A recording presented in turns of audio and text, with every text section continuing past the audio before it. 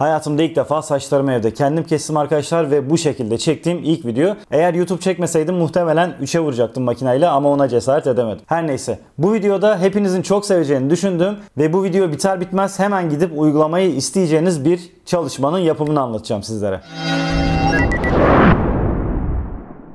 Benim de çok sevdiğim ve kullandığım Instagram profilimde de yer verdiğim bu tarz çalışmaların yabancı kaynaklarda nasıl yapıldığına dair videolar mevcut arkadaşlar. Fakat Türkçe içerikli, Türkçe anlatımlı bir video bulamadım. Daha doğrusu cep telefonuyla şimdi yapacağımız çalışmanın nasıl yapıldığını anlatan bir video bulamadım açıkçası. O yüzden ben de sizlere tamamen cep telefonu uygulamalarını kullanarak bu tarz bir çalışmanın nasıl yapılabileceğini anlatmak istedim. Şu anda yanda gördüğünüz gibi sinemada kamerayla yapılan bu teknik sıklıkla kullanılıyor arkadaşlar. Sinemada bu tekniğin adına vertigo efekt ya da dolly zoom efekt deniyor. Fakat biz bunu şu anda yanda gördüğünüz bu fotoğraf üzerinde uygulayacağız. Bu arada fotoğraf çeken Mesut ve fotoğrafta modellik yapan yine fotoğrafçı arkadaşım Onur'a teşekkür ediyorum. Bu video bittikten sonra bu fotoğraf şu hale gelecek arkadaşlar.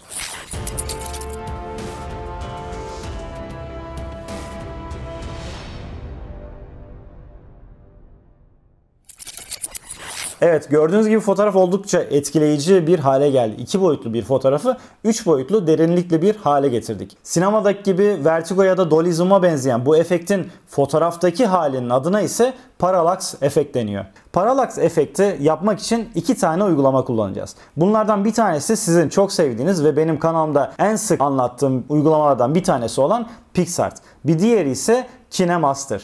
Evet KineMaster diyorum. Şimdi bununla ilgili kısa bir parantez açmak istiyorum arkadaşlar. Çünkü ben ne zaman KineMaster desem videolarımın altına yorum geliyor. Abi o KineMaster değil KineMaster diye okunuyor diye yorum yazan arkadaşlar var. Şimdi o arkadaşlar için üşenmedim ve yabancı kaynaklarda KineMaster ile ilgili videoların uygulamanın okunuşunun olduğu kısımları aldım, kestim, biçtim ve kurguladım. Şimdi öncelikle cevap niteliğinde bu videoyu izletmek istiyorum sizlere.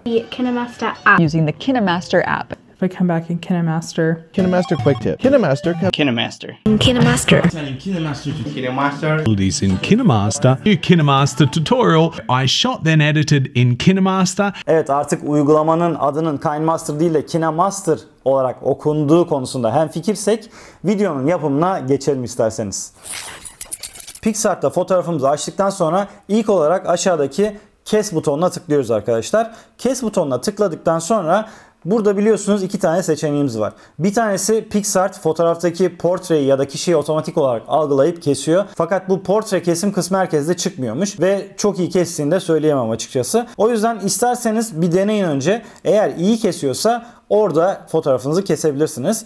Ya da yandaki manuel kesme kısmını kullanacağız. Manuel kesme kısmında da aslında kesmek oldukça basit. Çok ince detaylara girmenize gerek yok. Kabaca kişinin etrafından geçseniz yeterli. PixArt zaten orada kişiyi algılıyor ve kesip çıkarabiliyor. Daha sonra kestiğimiz arkası transparan olan bu fotoğrafı galerimize küçük resim olarak kaydediyoruz arkadaşlar. Fakat bazılarında şöyle bir hata olabilir arkadaşlar. Küçük resim olarak kaydetmemize rağmen fotoğrafın arka planını transparan değil de beyaz olarak görebilirsiniz. Bu durumda da şöyle bir yol izleyeceğiz. PixArt'ı açtıktan sonra aşağıya doğru iniyorum ve çizimler kısmına geliyorum. Çizimlerde tuval seç kısmına geliyorum arkadaşlar. Tuval seçte dikey olarak en üstteki 3'e 4 oranındaki tuvali seçiyorum ve ileri diyorum. Daha sonra sağ alttaki layer butonuna tıklıyorum.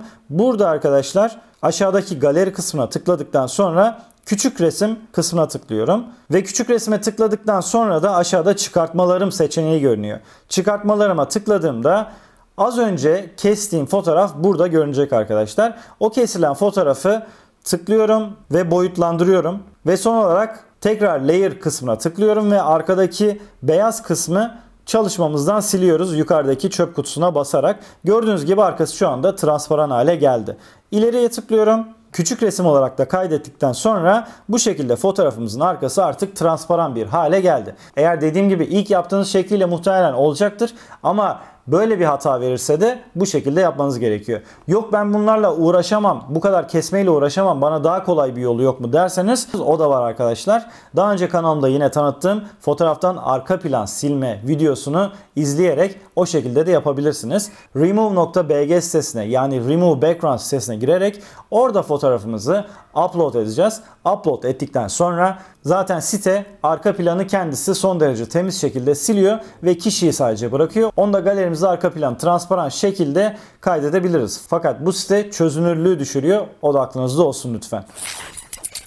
Bu işlemi yaptıktan sonra sıra geldi bu işlemin tam tersini yapmak. Yani fotoğraftaki kişiyi temizleyeceğiz ve arka planı tek bir fotoğraf halinde göreceğiz. PixArt'ı açtıktan sonra aşağıdaki menüden araçlara giriyoruz. Araçlara girdikten sonra klonla kısmını görüyorsunuz. Klonlaya tıklıyoruz. Burada bir tane yuvarlak görüyorsunuz. Bu yuvarlağın içindeki dokuyu alıp başka bir yere klonlayacağız. Yani şuraya tıkladığımızda gördüğünüz gibi çember mavi hale geldi. Buradaki dokuyu yani mavinin içindeki dokuyu ikinci kez parmağımla sürüklediğim yere klonlayacağız. Bu şekilde yapa yapa silmek istediğimiz kişiyi fotoğraftan tamamen sileceğiz arkadaşlar. Şimdi hızlandırmış bir şekilde isterseniz izleyelim.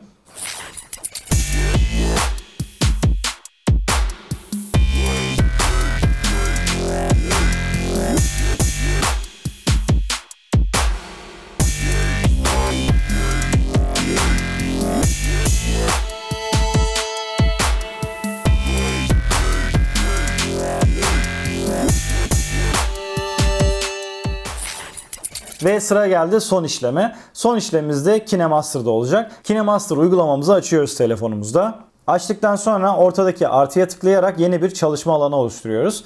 Eğer fotoğrafımız yatay formattaysa 16'ya 9'u seçeceğiz. Eğer dikey formattaysa 9'u 16'yı, kare ise 1'e 1'i seçeceğiz arkadaşlar. Ben yatay bir fotoğrafı işleyeceğim için şu anda 16'ya 9'u seçeceğim. Eğer sizin fotoğrafınız dikey ise 9'u 16'yı seçebilirsiniz söylediğim gibi.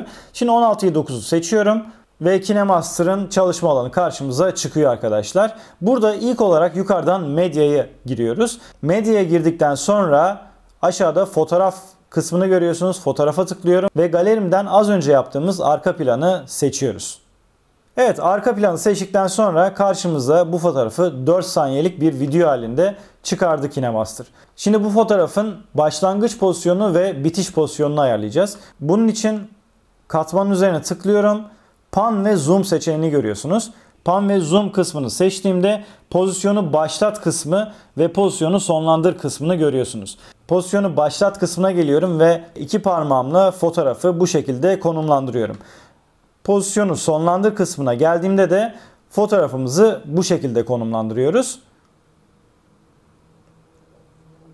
Ve tamam deyip çıktıktan sonra play'e bir basalım bakalım nasıl olmuş.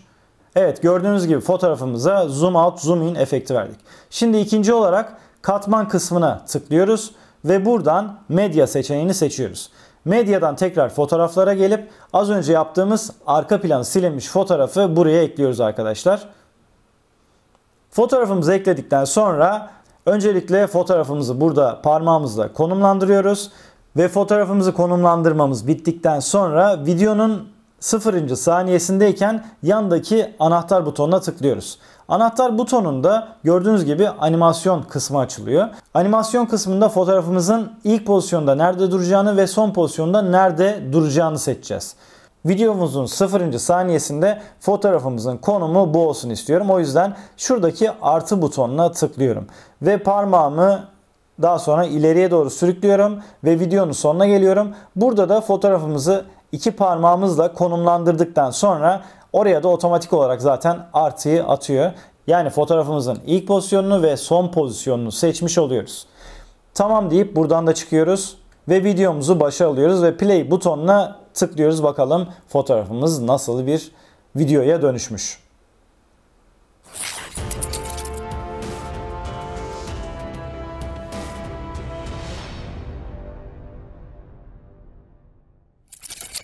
Evet gördüğünüz gibi bu kadar kolay aslında arkadaşlar. Daha sonra bu videoyu çıktı alacağız. Sağ üstteki export butonuna tıklıyorum ve buradan Full HD 1080p 30 kare benim için idealdir. Dışa aktar diyorum ve videomuz galerimize kaydediliyor.